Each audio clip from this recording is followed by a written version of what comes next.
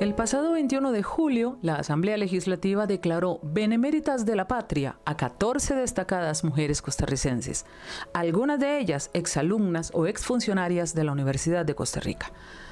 Desde nuestra universidad nos regocija este importante reconocimiento a mujeres insignes en la ciencia, la salud, la política, el arte, la cultura y la protección del ambiente.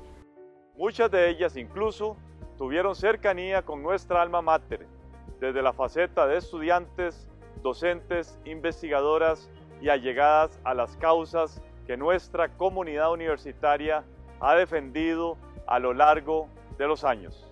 El rector de la UCR también destacó que con estos benemeritazgos se da un paso más para reducir la brecha histórica en el reconocimiento de los aportes de las mujeres a la sociedad costarricense. Cada una de estas mujeres marcó a muchas generaciones con sus conocimientos, talento y servicio e invaluables trayectorias en muy variadas áreas del saber.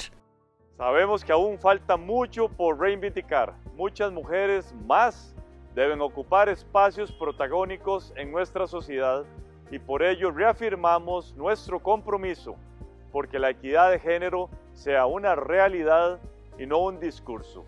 Desde la Universidad de Costa Rica nos unimos a la celebración de contar con estos nuevos reconocimientos por el honor que representan hacia todas y todos los costarricenses.